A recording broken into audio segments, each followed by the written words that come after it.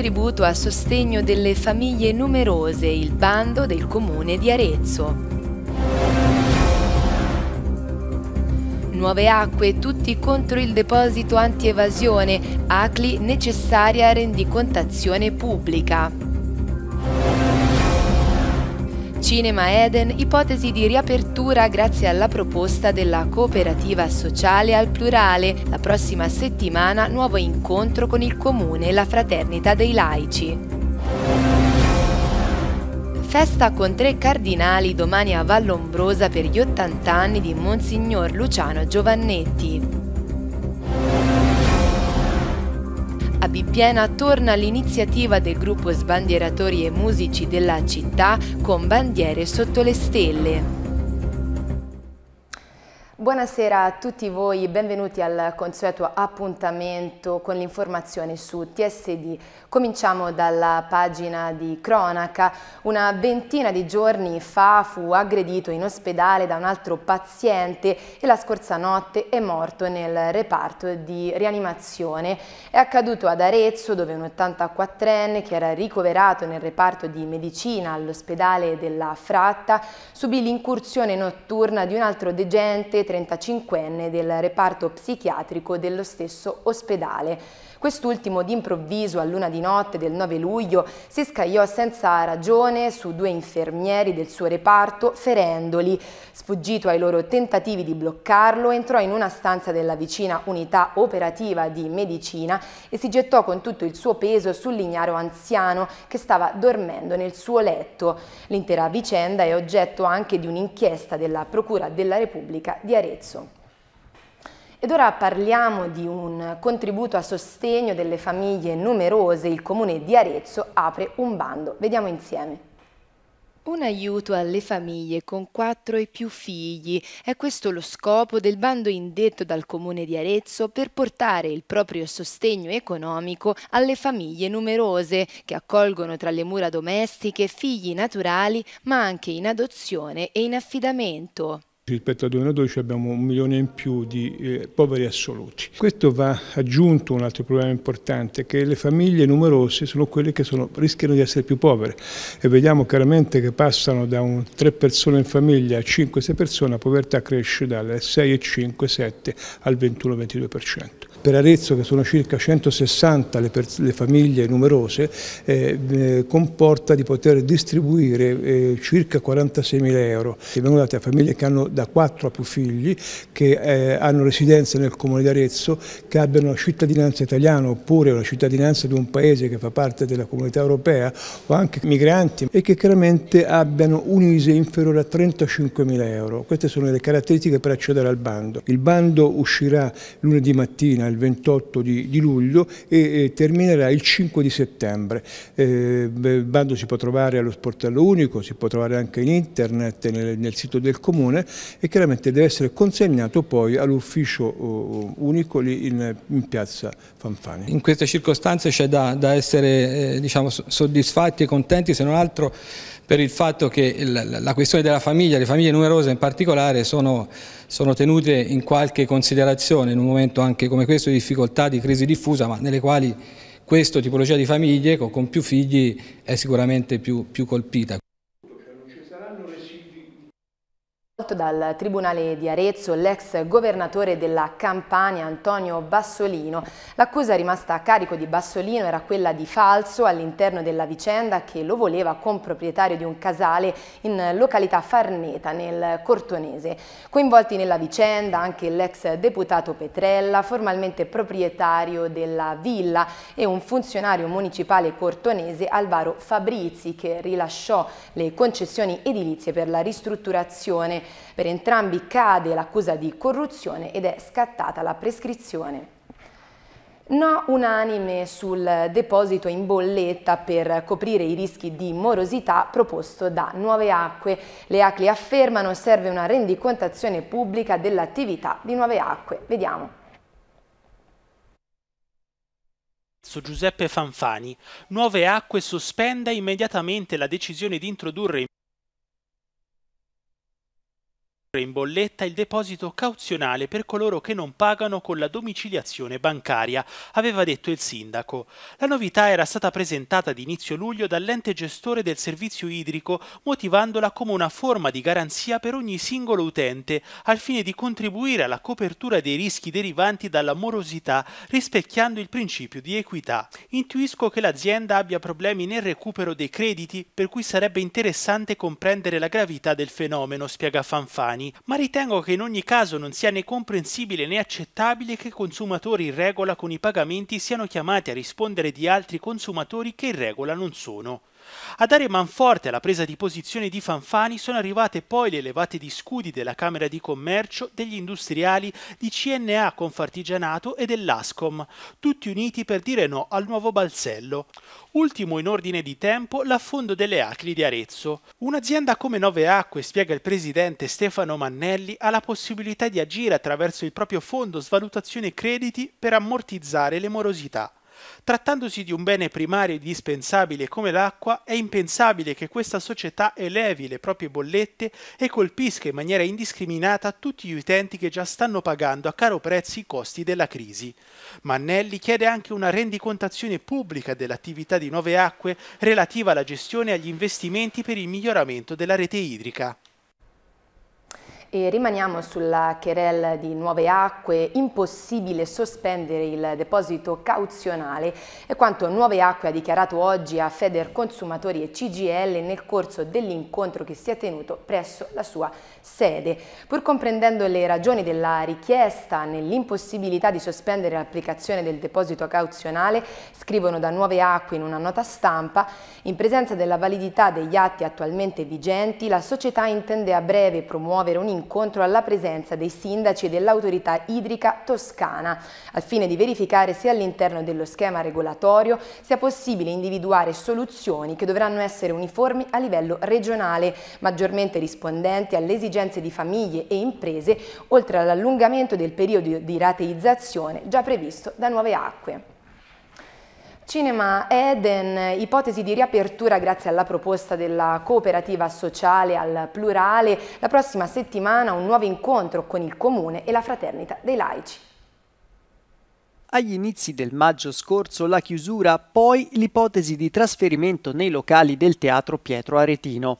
Adesso si rialza il sipario sulla questione del cinema Eden di Arezzo con una nuova ipotesi che si sta delineando proprio in questi giorni.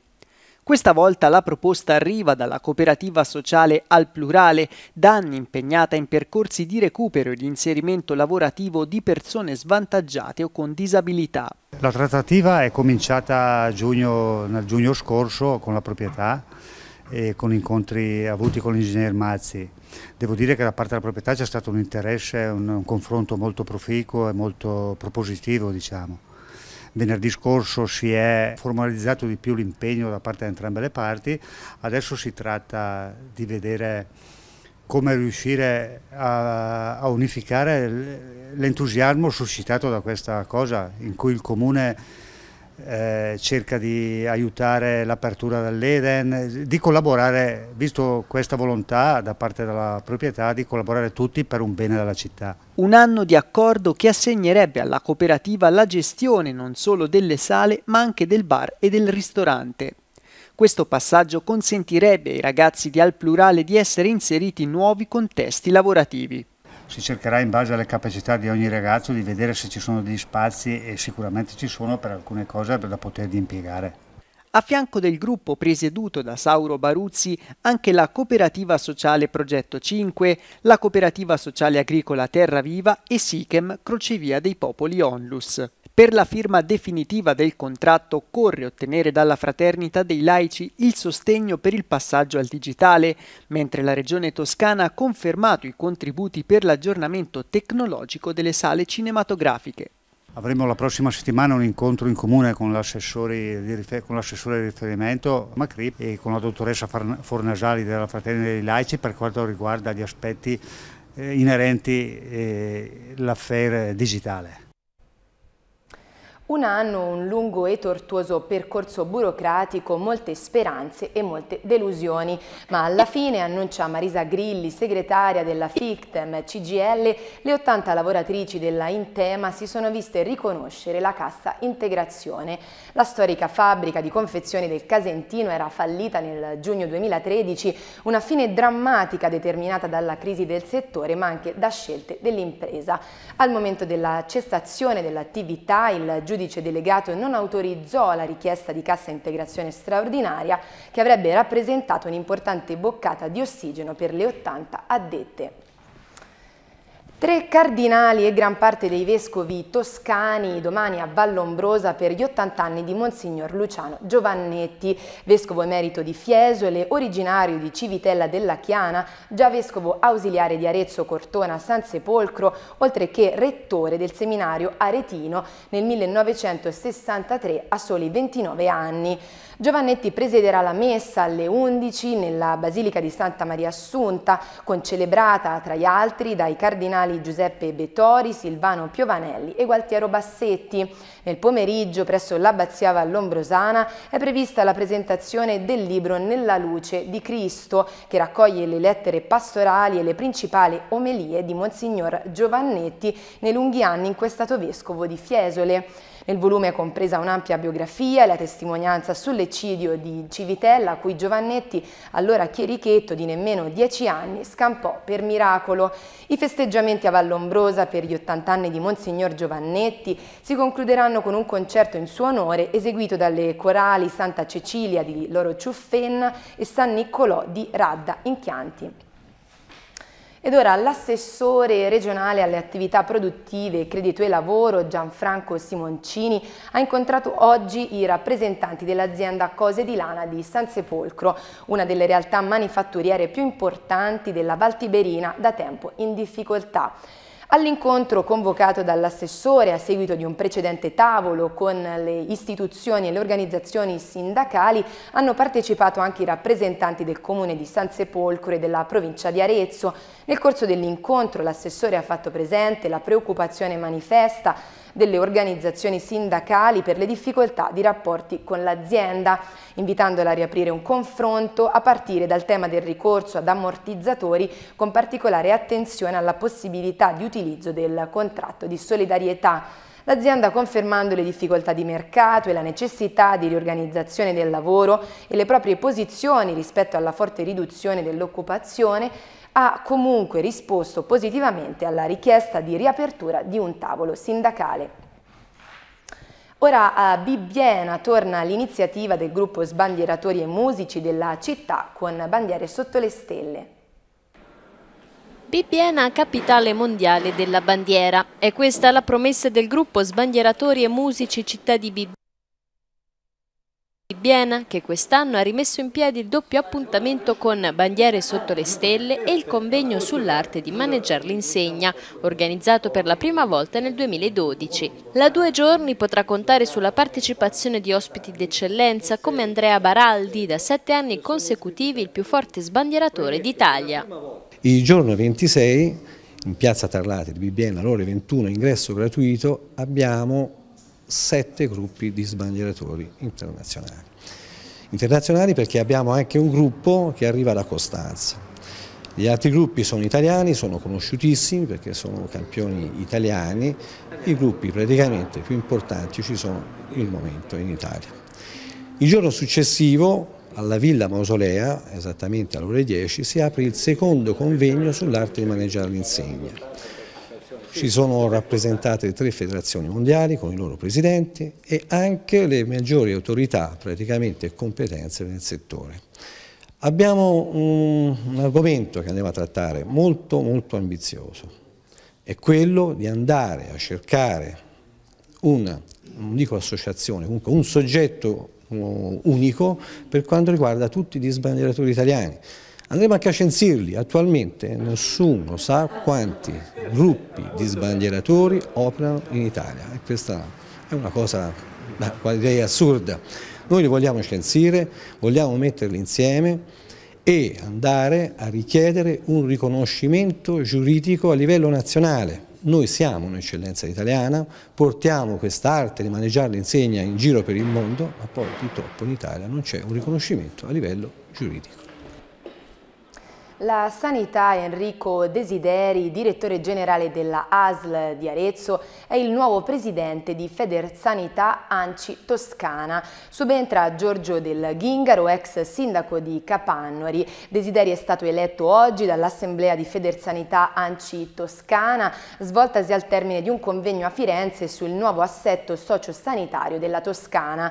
Riguardo al nuovo incarico, il neopresidente ha parlato di un ruolo impegnativo in un momento particolare sia dal punto di vista dei bisogni espressi dalla popolazione che da quello degli strumenti. Federsanità Anci Toscana vuole puntare molto all'integrazione nella gestione del sociale, dei problemi e nella programmazione. Ed ora il consueto appuntamento con Politeama, la rubrica dedicata agli spettacoli in calendario ad Arezzo.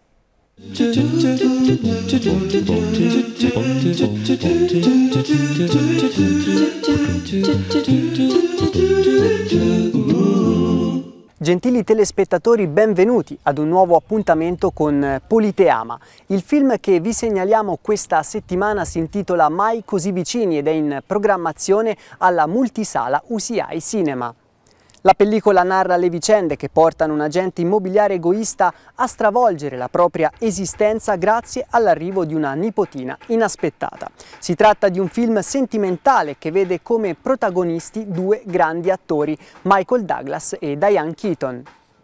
Ci spostiamo adesso in Val di Chiana. Sabato 26 luglio torna, dopo il successo dello scorso anno, il Cortona Mix Festival. Anche in questa edizione sono tanti gli appuntamenti in cartellone. Si va dagli incontri culturali fino alla musica dal vivo. Per conoscere il programma dettagliato della manifestazione vi invitiamo a visitare il sito www.mixfestival.it. Domenica 27 luglio, ultimo appuntamento con il Festival di Teatro Popolare Frottole e Cialtronate. Nella cornice del Giardino di San Domenico ad Arezzo è prevista una giornata dedicata interamente ai più piccoli. Sono in programma infatti dei laboratori curati da Sara Allevi e da Anna De Franceschi e lo spettacolo intitolato Le fantastiche avventure di Arlechin Batocio. Arriviamo adesso in Casentino dove il 28 luglio il Teatro del Fiume porta a Bibbiena Stazione uno spettacolo rivolto interamente ai più giovani. Michele Mori porta in scena il Soldatino di Stagno, una pièce ispirata al celebre Soldatino di Stagno di Andersen e al famoso Lo schiaccianoci di Tchaikovsky. Questo era l'ultimo appuntamento con Politeama, l'appuntamento con la rubrica dedicata a tutto quanto fa spettacolo torna a settembre.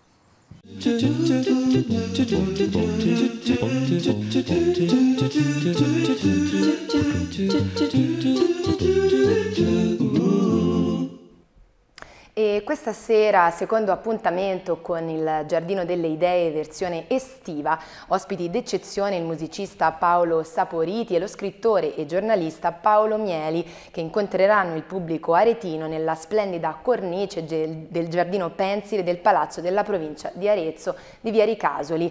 Saporiti presenterà il suo ultimo disco, le cui sonorità mescolano folk e sperimentazione, a seguire l'intervista a Paolo Mieli che discuterà del suo ultimo libro i conti con la storia. E con questo è tutto, io vi lascio alle previsioni meteo, vi ringrazio per la vostra attenzione e vi auguro un buon proseguimento di serata su TSD.